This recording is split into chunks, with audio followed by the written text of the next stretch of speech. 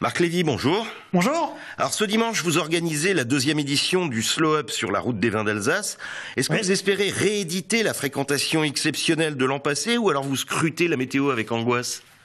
Alors on scrute la météo, euh, mais pas avec angoisse, avec euh, beaucoup d'enthousiasme, en espérant qu'elle soit au rendez-vous comme elle l'a été euh, l'an dernier avec euh, beaucoup de bonheur et pour le plus grand plaisir des participants.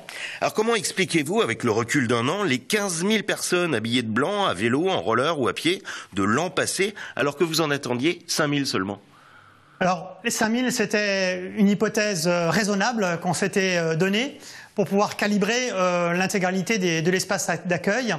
Euh, on espérait quand même qu'il y en ait un petit peu plus et finalement euh, euh, la météo et la vigueur que les organisateurs, notamment au niveau local, qu'il faut chaque fois remercier, ont mis dans cette opération, nous a permis finalement d'accueillir beaucoup plus de monde. Et ça, c'était véritablement une, une, belle surprise. Alors pourquoi? Pourquoi? Parce que euh, c'était la première fois depuis fort longtemps, euh, peut-être depuis toujours, que la route des vins a été neutralisée pour être uniquement accessible à des personnes à pied, grande surprise, beaucoup de gens à pied, et puis à tout ce qui roule sans moteur. Alors 31 km de route euh, seront interdits à la circulation dans ce triangle Célestat, Berkheim, Châtenois. Ça fait pas grincer quelques dents quand même? Pas du tout. ça ne fait absolument pas grincer. les gens sont vraiment partants.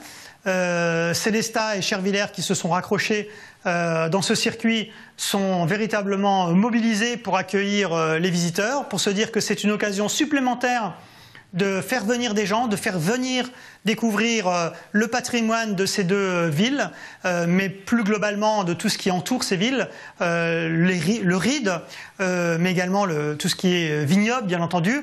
On est dans des hauts lieux touristiques et œnotouristiques, et donc c'est véritablement beaucoup de bonheur de pouvoir eh bien, organiser une découverte autrement, avec douceur, puisque le slow-up c'est bien de ralentir l'allure et d'augmenter le plaisir. On est bien dans, cette, dans cette idée-là. Alors simplement, effectivement, quelques, quelques soucis au niveau euh, du balisage de l'itinéraire, puisqu'en rajoutant Célestat et Chervillers, on traverse euh, la RN59, donc un axe extrêmement important. Et puis en ville, euh, à Célestat, on traverse également euh, la RN83, ce qui est une autre difficulté. Mais tout est prévu pour une sécurité des participants. Alors vous en avez parlé, l'un des objectifs du Slow Up, c'est promouvoir le no-tourisme en Alsace. Est-ce que vous avez des chiffres? Est-ce qu'il se développe vraiment? Et auprès de qui? Les Français ou les étrangers? Alors les deux. Le no-tourisme se développe. Euh, la route des vins d'Alsace reste la première route des vins visitée au monde, juste au monde.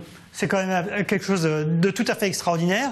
Euh, plusieurs euh, millions de personnes viennent sur cette route des vins. Nous avons bien entendu une clientèle française qui est habituée, qui vient, qui revient, mais on a encore une belle conquête devant nous. Il y a encore beaucoup de gens qui ne la connaissent pas ou pas suffisamment.